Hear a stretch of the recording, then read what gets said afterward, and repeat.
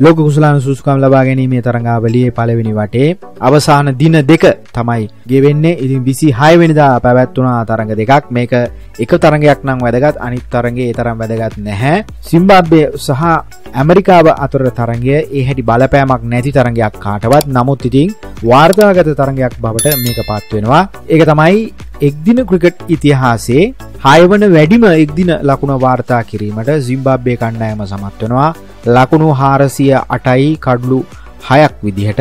එතකොට ඉතිං සිම්බාබ්බේ එක්දින ඉතිහාසේ වැඩිම එක්දින ලකුණ විදිහට තමයි යෝක සඳහන් වන්නේ. ඉතිං එහිදී ලකුණු එකසිය හැත්තෑ හතරක් නායක විලියම්ස් ලබා ගැනීමට සමත් වනා පන්දු එකසිය එකකින්. ඉතිං සිම්බාබ්බේ එක්දින ඉතිහාසේ ඕක තෙවන වැඩිම ලකුණ විදිහට තමයි සඳහන් වන්නේ.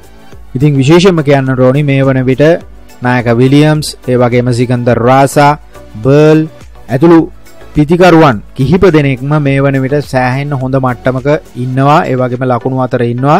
තොට මොවුන් අපට හමුවීමට නියමිතයි. සුපසික්ස් වටේ ඒක ලොකු අභියෝගයක් බවට පත්වේ. ඉතින් මේ ලකුණු පුරවලින් කියවෙන්නේ ඒක තමයි. මොකද සුපසික්ස් වටේ අභියෝගය තමයි පේනති නිති කොමහරි හැත්ත අටක් ගුම්බි ලබාගෙන තියෙනවා.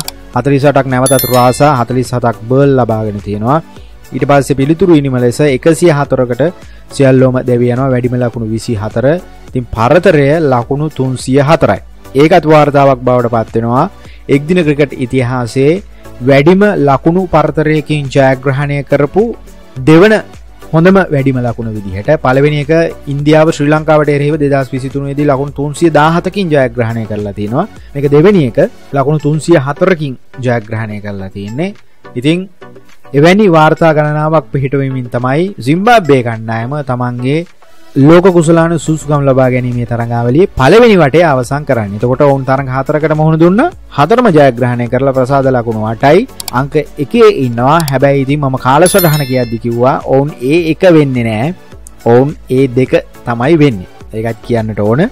ප්‍රසාද ලකුණු පූර්ුවේ මොකක් වුණත් අර නියමයක් අනුව තමයි සුප සික්ස් වටේ තරඟ ටික පැවැත්වෙන්නේ. ඉතින් ඕක කොහොම අරහෙට මෙහිට මාරුණත් එච්චර ප්‍රශ්නයක් වෙන්න මොකද අනිවාරෙන්ම කණ්ඩායම් තුන හම්බ වෙන්න ඕන. අර දින මාරුවෙන එක සහ සමහරක් වෙලාවට ක්‍රඩාංගන මාරුවෙන එක විතරයි වෙන්නේ. ඉතින් සුප සික්ස් වටේ කාල සටහන දැන් ස්තීරවී අවසන්. ඒ සම්බන්ධයෙන් මම වීඩියෝකුත් ගෙනහල්ල තින් නැවතත් අපි කතා කරන්න පුළුවන් පල වැඩිමටේ අවසන් වනාට පස්සේ කොහොමුණත් ඒක කොදෙව් කණ්ඩායම ඒ දෙක සිම්බාබ්‍ය කණ්ඩායම ඒ තුන නෙදර්ලන්ත කණ්ඩායම විදිහට තමයි සුපසික්ස් වටේ තරඟ ටික හැදෙන්නේ. ඒක අපි මතකතියාගන්නට ඕන. එතක ශ්‍රී ලංකාවට ඉස්සල්ලා මහම්බුවෙන්නේ නෙදර්ලන්තය. දෙවනයට හම්බවෙන්නේ සිම්බාබ්බේ තුන්ගෙනයට හම්බවෙන්නේ කොදෙව් කණ්ඩායම කියන එක තමයි අපට වැදගත් වෙන්නේ දින විදිහට බලද්දි. තිස්වනිදා දෙවනි දසා හත්වනිදා තමයි අපේ තරඟ ටික තියෙන් ඉතින් ඒ අනුව සිම්බාබ්බේ කණ්ඩායම සුපසික්ස් වටයට යන්නේ ප්‍රසාද ලකුණු හතරක් සමගින්. ඒකාණ්ඩේ අංක එකටම ඉන්නේ ඔවුන්. කොදෙව් කණ්ඩායමට අංක එක බවට පත්වන්නට බැරුණා දයෝපගත විදිහට.